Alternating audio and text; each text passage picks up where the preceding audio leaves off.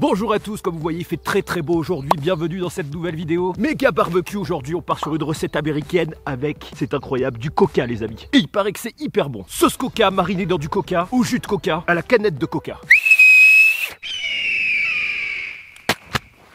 Ah, c'est bon, il bouge plus. Pris un magnifique poulet, les amis, aux graines de lin. Ça ira parfaitement bien avec le coca. Si vous vous rappelez, on avait déjà fait une recette américaine de poulet à la bière, à la canette de bière. Et ben, c'est un peu le même principe, mais encore plus américain. Puisque c'est incroyable, regardez-moi ça. Voici un accessoire, les amis, américain à barbecue à fumoir pour enfourner un poulet et faire un poulet coca. Ils ont même la machine. On va se régaler pour les nouveaux. Bien sûr, abonnez-vous pour toujours plus de recettes américaines bien grasses. Allez, barbecue, c'est parti. Et bien sûr, ne vous inquiétez pas, comme la cuisson va être longue, bacon côtelette, brochette saucisse, on va se péter le bide. Alors, j'ai eu un petit problème hein, niveau des accessoires, mais je vous avoue qu'on a de la chance. Voici l'accessoire de base. hein. Regardez la taille des barbecues américains. On a donc un récupérateur à graisse et à jus qui peut être utilisé aussi pour ajouter de l'eau, pour garder le poulet humide. Mais surtout, regardez la taille de ce truc. C'est pas un poulet, c'est plus gros qu'une dinde. Le poulet va prendre cher à mon avis parce que j'ai pris le plus gros que j'ai trouvé. Heureusement, coup de chance. Regardez, ça rentre parfaitement à l'intérieur et on a même le récupérateur dessous. Et hop, barbecue de l'apocalypse. Et on commence tout de suite par la sauce coca puisqu'on va badigeonner notre poulet pendant toute la cuisson. Pour ça, on va faire une sauce épaisse. On va mélanger du coca avec des épices, du paprika et du sel. On fait réduire et caraméliser notre mixture pendant 20 à 30 minutes. Un petit peu de bois, j'ai trop faim, c'est quand même meilleur qu'au charbon. Et hop, je laisse mariner une côtelette, il paraît que ça se fait aussi. On obtient ainsi un magnifique caramel de coca qu'on va laisser bien sûr refroidir Hop. Allez à table, on allume, je prends les devants, je précise bien sûr qu'au moment où j'enregistre cette vidéo, les barbecues sont autorisés et j'ai l'arrosage à côté en cas d'urgence. Hop, on commence par le déficeler, on va bien sûr bien le laver avec du coca. Hop. Hmm. Et hop Hop, le problème c'est que c'est américain et du coup les canettes françaises sont trop petites. On va tricher un peu en glissant une petite plaque et hop. Allez, on y va, j'espère que ça rentre. Oh, parfait. Regardez-moi ça. Parfait. Il est debout.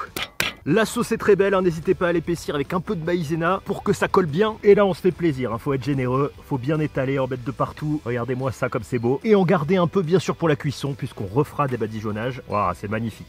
Allez, barbecue, on y va. Hop, rien ne se perd, on verse le coca avec lequel on a nettoyé le poulet et le reste de sauce. Hop, et hop, et attention, on dépose notre poulet pas très droit. En fait, j'ai dû mettre la machine à l'envers pour que ça tienne, donc c'est pas très droit. Et on referme. Ah, j'ai trop hâte de voir le résultat. hein. Je vous conseille d'acheter ce type de machine. C'est vraiment très bien pour le barbecue et ça marche très bien surtout avec du feu de bois parce que c'est vrai que le charbon, bon, je sais pas si c'est très très bon pour la santé de faire que des barbecues au charbon. Là, au moins, on a vraiment le fumé du bois. Bon, vous l'avez aussi avec des copeaux, mais vous avez compris. Le barbecue de l'apocalypse est lancé, donc je lance les lapins dans le bunker. Et oui, tout le monde profite du soleil. Hop On va attaquer notre petit déj, bien sûr, avec un petit peu de bacon. Et on est déjà à 110 degrés, donc c'est pas mal, ça va. Waouh, comme c'est beau Oh là là Ils vont être nourris par l'évaporation du coca. Et la graisse de poulet, je sais pas trop où les mettre, donc on va, on va les poser dessus. J'ai pas envie qu'ils tombent. Waouh, il est brûlant. Putain, mon bacon. J'ai un problème, j'ai le socle qui s'est un peu barré, et du coup ça fait pencher le poulet. Bon, on aura un poulet tordu. Allez hop Vous l'avez peut-être remarqué parce que je viens de me rappeler. Le principe de cet appareil... Ah, ça m'avait manqué C'est qu'il y a une grille aussi pour faire des ribs marinés au coca. Donc peut-être qu'on le fera dans une prochaine vidéo. Ouah, on est à 200 degrés Allez, on contrôle la cuisson, on récupère notre bacon. Ouh, il a bruni Allez, à table, écoutez-moi ce son. Ah. Le bacon, il est incroyable, regardez-moi ça. Ouais, c'est beau, et ça fait vraiment un caramel au fond. Limite, j'ai envie de verser le coulant du fond sur le dessus à la fin. Ça va être incroyable. Bon appétit Alors la température idéale de cuisson pour le poulet, de cette façon, de mémoire, c'est entre 80 et 120 degrés. Parce que c'est pas trop lent ni trop rapide. Et je pense qu'il y en a bien pour minimum une heure et demie, voire deux heures. Donc vous avez le temps comme moi de faire des barbecues. Alors est-ce qu'il a goût de coca? Ah putain. Une mouche Bon appétit Mmh. Mmh. C'est un délice. Alors en goût, il est légèrement sucré, mais surtout, il est extrêmement fumé. C'est délicieux. C'est délicieux. C'est le meilleur bacon que j'ai mangé de ma vie. Il est méga fumé, vraiment. Mm. On trouve du bacon déjà fumé, mais là, rien à voir. T'as presque la cendre de bois dans la bouche, sans la cendre. Occupons-nous du poulet. Oh là, je vais rajouter un peu de coca au fond parce qu'après ça crame et c'est pas bon. Et on mettra aussi un peu d'eau. Hop. Allez, session peinture, on rebadigeonne, bien sûr, pour que ça refasse. Il est déjà euh, pas mal cuit, hein, je trouve. Une belle peau, on lui met une petite armure et ça remonte en vapeur de sauce. Hop Après le bacon, vient les brochettes. Et oui, le meilleur petit déj du monde. Et le temps que le poulet cuise, on arrive au repas du midi. On va les poser Hop, et hop J'en profite pour vous teaser sur la prochaine vidéo puisque ce sera une vidéo expérimentale. Mais je pense qu'elle vous plaira beaucoup. Expérimentale parce que c'est quelque chose qui se fait dans un autre pays mais pas trop ici. Donc je j'ai très envie de tester mais en même temps ça me dégoûte un peu. Ça va être incroyable. On commence du coup à avoir de belles braises hein, pour une cuisson durable, c'est plutôt pas mal. De retour 15 minutes plus tard, oula, les brochettes sont très belles, on va les laisser griller encore un petit peu. Je rajoute un peu d'eau au fond. Hop, une petite cuillère de sauce, on remet une couche et l'arrière et c'est parfait. Et j'ai mieux N'oubliez pas de ne pas aspirer à la fin. Allez, c'est cuit à table. Regardez-moi ça, elles sont bien grillées, elles sont magnifiques. En remettant de l'eau, le feu s'est stabilisé entre 100 et 120 degrés. Du coup, on a une cuisson vraiment parfaite qui garde le moelleux. Ah, l'avant est pas totalement cuit, je remets. Et c'est bon, il manquait juste 5 minutes de cuisson. Regardez-moi ça, comme c'est bien grillé. Bon appétit à tous. Mmh.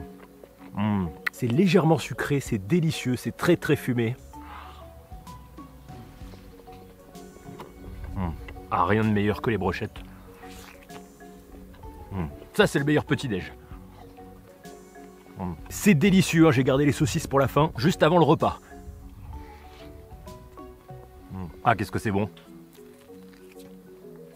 Oh là, ça monte Un peu. Waouh, oulala, oulala Heureusement qu'il y a une croûte.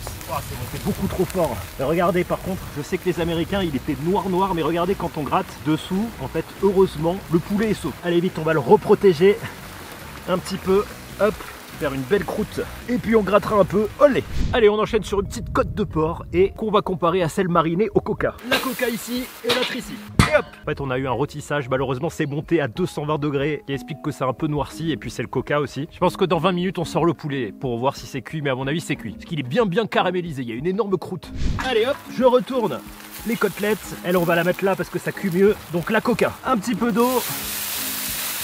Va juste regarder si c'est cuit. Ici, regardez, sous la croûte, hein, le poulet est nickel. En plus, il a l'air très moelleux. Alors, il est pas encore cuit, hein, toujours un peu rosé sur le fond, mais en tout cas il est très très moelleux. Hein. Allez, on finit la sauce avant dernière croûte, hein, avant la croûte finale. Et la croûte finale, elle va être énorme. Hop, on bouche le trou. C'est une recette américaine, il n'y a pas de limite. On va donc prendre tout le sucre brûlé du fond et le remettre sur le dessus. Recette que vous voyez à pas faire très très souvent, parce qu'il y a beaucoup de brûlés potentiellement cancérigènes, mais une fois de temps en temps. Sachez que les Américains, quand ils font des ribs, ils mangent la croûte cramée, ils mangent tout. Mais comme ils font ça à peu près tous les week-ends, bien sûr que c'est sur le long terme vraiment mauvais. Une ou deux fois par an. Je me suis tellement pris de fumer que j'ai la même odeur que ce que je mange. Je vous dis ça parce que je sais que j'y ai droit à chaque fois qu'il y a un petit bout de cravé qu'on mange. Sur les études qui ont été faites, du coup c'est plutôt intéressant de, connaître les choses. Et sur les études qui ont été faites, c'est vrai que c'était plutôt une habitude alimentaire. Dans le sens où les barbecues un peu cramés étaient assez récurrents. Comme par exemple en Afrique du Sud aussi, où ils ont l'habitude de faire beaucoup beaucoup de barbecues, mais vraiment beaucoup. Allez, les côtelettes sont prêtes. Et celle au coca est ici, regardez-moi ça. Alors ça se voit pas trop, mais ça va se sentir en goût, je pense. Allez, on goûte, on va bientôt attaquer la partie finale. Et on fera les saucisses en dessert. Je commence par celle qui n'est pas au coca. Du coup, bon appétit. Mmh. Mmh. C'est extrêmement bon, c'est extrêmement fumé. Mmh. Et celle au coca, alors paradoxalement, ça se voit moins, mais au goût.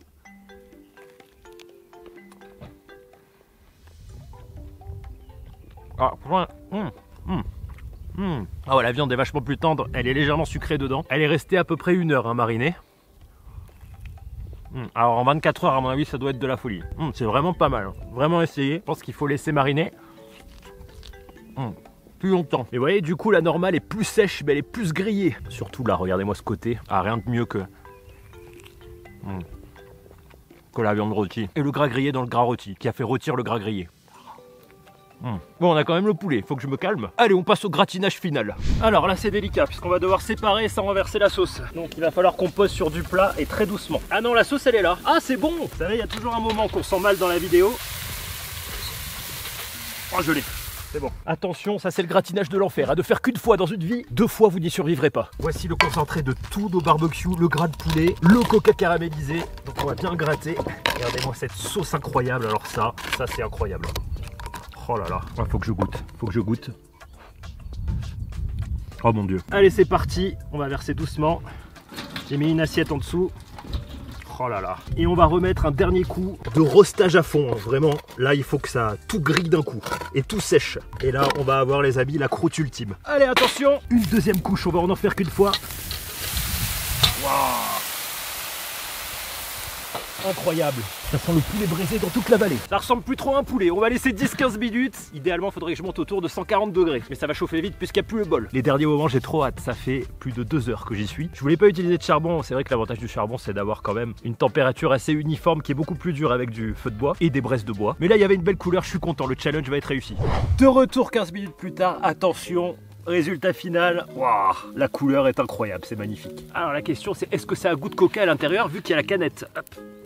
Et il est ici, il est vraiment beau. On va le sortir et le découper dans le plat. Regardez un peu et virer la canette, bien sûr qu'il a dans son cul. Waouh, alors il y a l'os qui se détache tellement c'est cuit. Allez, c'est parti. Ah putain, j'ai les cuisses qui se détachent. Allez. Ok, alors comment enlever la canette? Je sais pas. Oh, ça coule. Ah, c'est bon. Hop. Hop, c'est bon. Ah, regardez, ça fume de l'arrière. je voulais vous dire surtout ne versez pas le jus de la canette. Je vais goûter, mais... Hmm. Ah, quoi que ça va avec le coca. Attendez, je regarde l'intérieur. Je goûte. Hmm. Hmm. J'avais goûté avec la canette de bière et c'était un petit peu amer. Avec le coca, c'est sucré. Donc attention, ça peut gâcher tout le poulet. Le but, c'est simplement, les amis, d'humidifier l'intérieur pour que le poulet... Regardez-moi cette croûte. Alors, heureusement, ça se détache très bien. On sait jamais hein, si la croûte est trop cramée. Voilà là il est bien bien cuit. Hein. Je sais même plus où est l'aile. Allez ici. regardez-moi ça. Est-ce qu'on peut piquer un pot de blanc? Regardez-moi ça dessous. Attendez, je sais même plus dans quel sens je suis. Ah, mais je suis à l'envers. C'est pour ça que je comprenais pas. Waouh, cette cuisse. Elle est magnifique. Tout part, c'est hyper tendre. Oh, on va se régaler. Eh ben on peut dire un challenge réussi, le poulet est extrêmement bien cuit et il reste moelleux. Bon appétit à tous, hein, là il va y avoir du rab. On va commencer par un petit bout de blanc. Vous voyez c'est pas grave au final si la croûte est cramée on peut l'enlever. Le goût.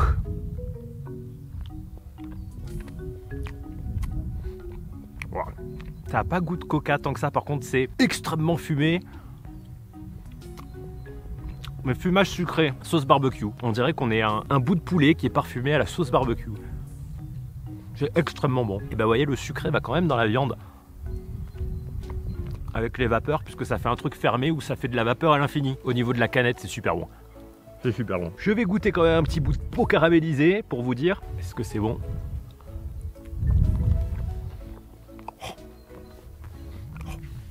C'est extrêmement bon c'est sucré. Ça a un goût de l'autre monde. Presque goût de, goudron fumé. Le coca, c'est goudronné, quoi. C'est incroyable. Il est tellement bien cuit que regardez. On pourrait, vous savez, le presser avec des gants pour en faire un kebab dans le sandwich. Donc là, on est sur une cuisse.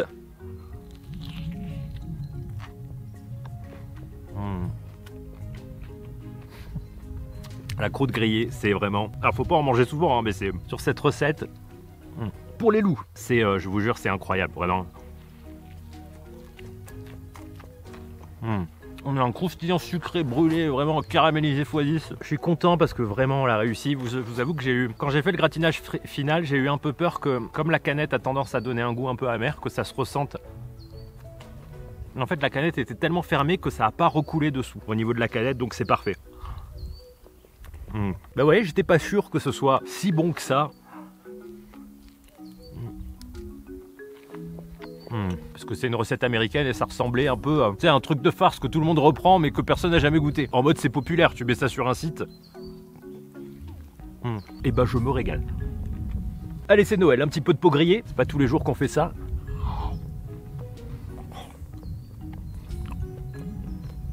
Que la peau c'est le meilleur, mais c'est le meilleur. Ça fait du charbon sucré. Peut-être j'utilise pas les bourbons, mais regardez-moi ça, hein, je pense que les pros du caramélisage le savent. Comment on sait qu'on a une belle croûte? C'est quand elle est croûtée et en même temps brillante. Elle reflète le soleil. Et que ça croustille quand on mange. Mmh. Et le goût est incroyable, c'est la meilleure cuisse de poulet que j'ai mangée de ma vie. Mmh. Pour les loups, c'est tellement tendre. Et en même temps, c'est pas sec du tout. Et regardez, hein, pour vous dire comme c'est tendre, il suffit de tirer l'os, quoi. Ça fait comme des ribs de poulet, c'est super bon. Allez, on va juste recouper un petit bout, et puis euh, je vais me garder le reste pour demain, tranquillement. Là, il faut que je pique ce petit bout là, de cramer.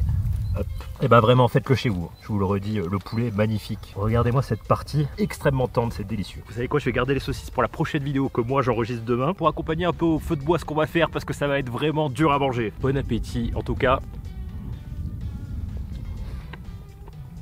Incroyablement fumé, c'est super bon. En tout cas, j'espère que ça vous a plu. Je compte sur vous pour faire péter un max de pouces bleus et j'ai failli oublier le bout le plus tendre, le dessous du poulet, qui est le dessus ou le dessous parce que le poulet, il me semble qu'on le cuit à l'envers. Attendez, je me mets en poulet.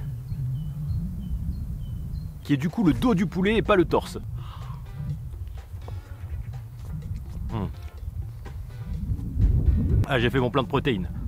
Et eh bah c'était une très bonne idée, on en refera d'autres encore plus bizarres et encore plus américains. Abonnez-vous pour voir la suite, j'appréhende un peu la vidéo de demain, mais vous allez vous marrer au moins. En attendant l'apocalypse, mangez gras et survivez, et à bientôt, ciao